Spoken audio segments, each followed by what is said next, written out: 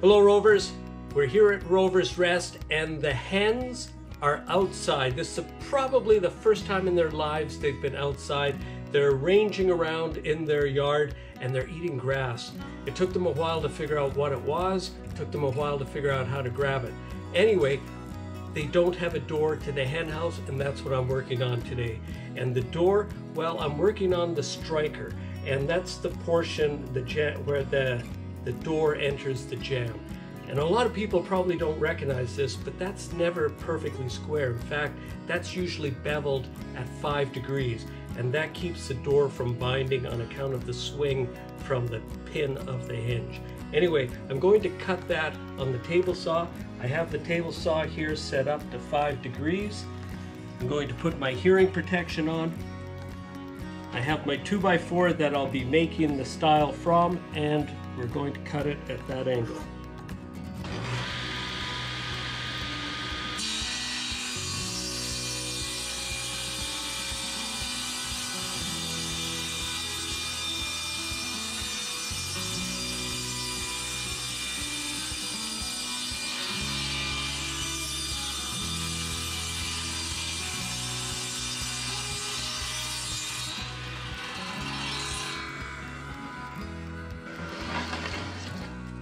There we go, if you can see this, it's about five degrees. Great. Okay, so this is the Dutch door. We're under construction. I'll just push it up as though it were installed.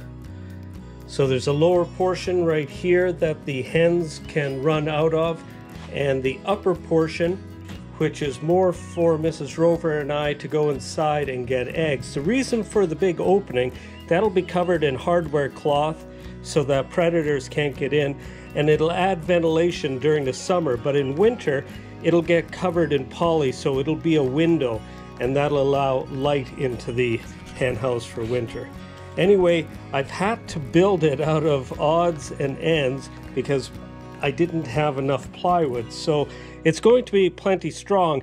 It's just that the price of plywood is so expensive right now that I've had to uh, piece it together like this. This literally is the last few little bits of plywood that I have. So that'll be secured down just to fill this out to the same height and then we'll put a piece of 1 by 4 around to hold the cloth in place. Anyway, time to crack on with that.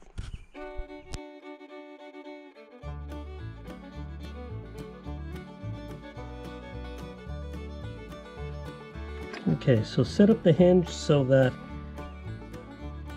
the pin is halfway on the surface there. And then with your awl, mark the three screw holes, the centers. And then grab a drill with an appropriate bit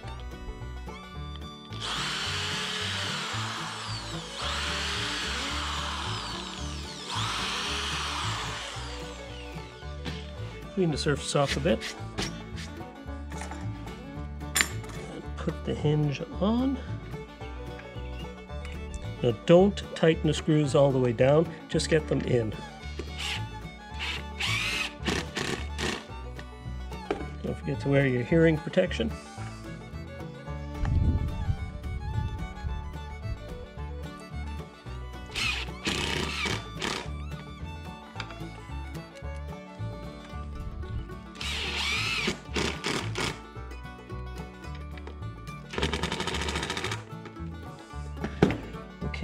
Then I like to tighten them up with a hand screwdriver.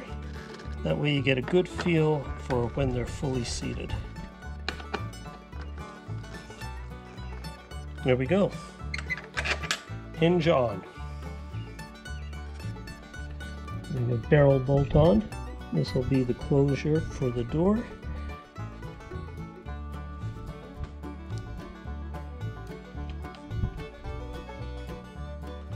Okay, there are four indentations. Grabbing our drill again.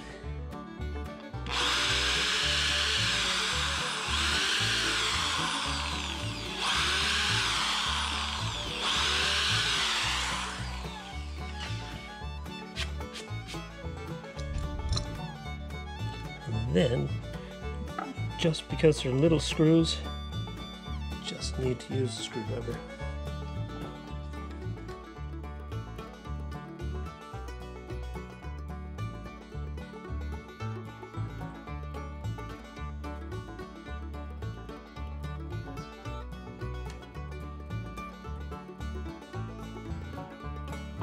Excellent.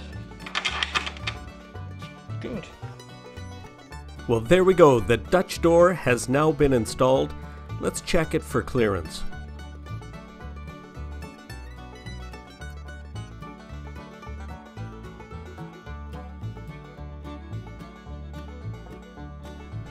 Alright, hands, check it out. Well, it's another day and another project.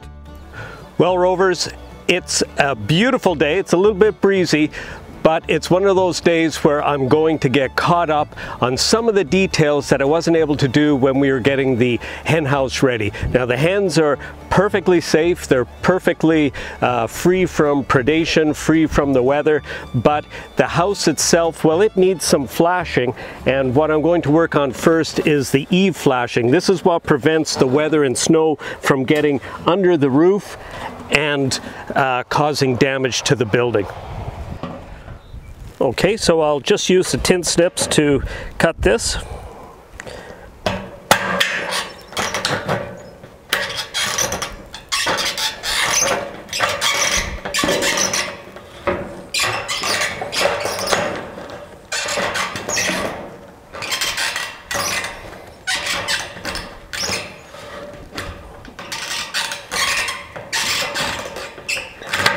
Now it's a good idea to wear gloves while you do this. The, the metal is pretty sharp.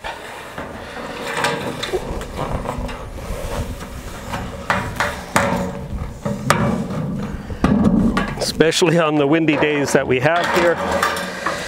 Uh, the metal can get out of hand and uh, cut you.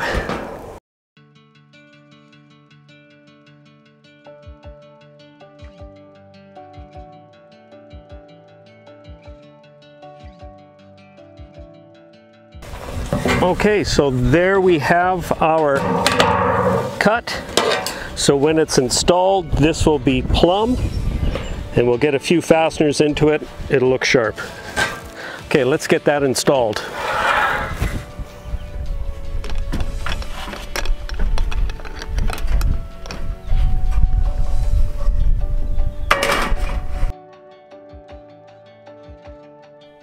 It's hard to see, but there's a pretty strong wind blowing from the south.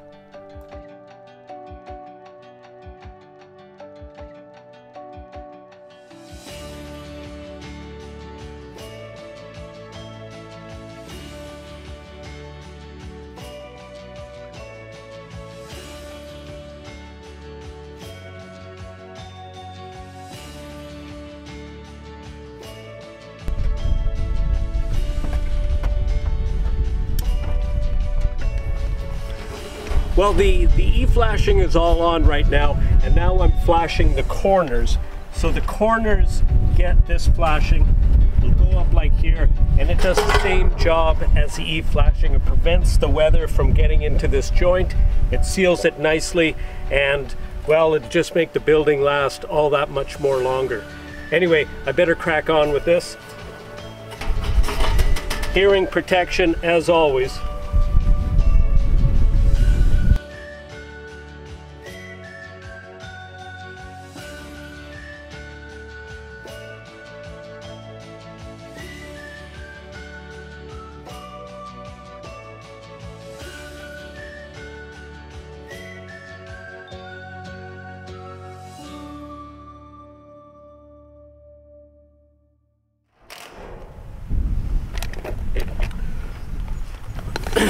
Well, Rovers, I'm going to end it right here because it's pretty windy right now. I just have the ridge to do and that's going to be a two-person job. I'll wait for a slightly better day. It's not like I don't have anything else to do. In fact, I have to hop on Rover mower and get the pasture cut because it's been growing like there's no tomorrow. And we've got to get it cut before the rain comes. All right, I better crack on. Well, shortly after cutting the grass, the wind dies down and conditions are perfect to finish off the ridge.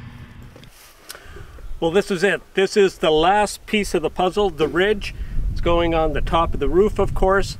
Uh, we have a day where there's virtually no wind. That's what we needed. And Mrs. Rover is here to give me a hand. Well, time to crack on.